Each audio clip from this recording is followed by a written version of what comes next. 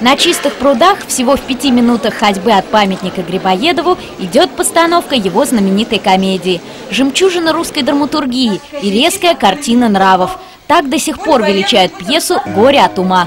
На сцене современника спектакль латвийского режиссера Римаса Туминаса уже полгода. И за это время он собрал массу отзывов, как восторженных, так и гневных.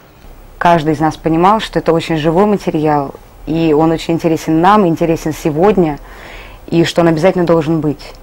И относительно России, и относительно человеческих и семейных узких взаимоотношений, и относительно человека вообще как стержня, то есть э, человеческой природы. Хороша эта постановка или не слишком, все-таки лучше судить, увидев ее своими глазами. Тем более посмотреть есть на кого. В главных ролях небезызвестные публики Фамусов Сергей Гармаш, Софья Мария Александрова, Чацкий Иван Стебунов голова, я от испуги дух перевожу, едва изволили бежать вы так проворно. Смешалась я. Благодарю покорно, я скоро к ним бежал. Я помешал, я испужал.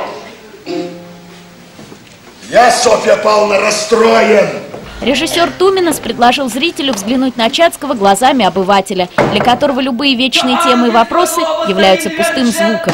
Именно поэтому главными героями стали скорее не Чацкий или, скажем, Фамусов, а служанка Лиза и бессловесный слуга Петрушка, который и на врагов хозяйских лает, и кусается, и на коленях у Фамусова распластывается, будто бы домашнее животное. Всегда мы будем и стоять перед дилеммой гнуть свою шею и жить хорошо за счет этого, но идти на компромиссы с самим собой. Либо мы не будем идти на компромиссы, будем стоять на своей позиции и за это страдать. Вот и все.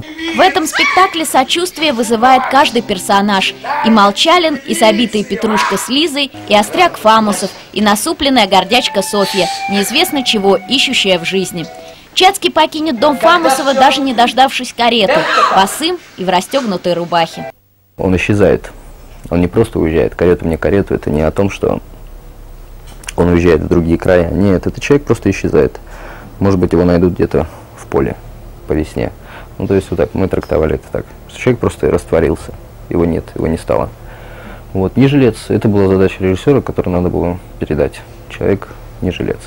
Посреди сцены возвышается огромная башня с дверцей, из которой валит пар.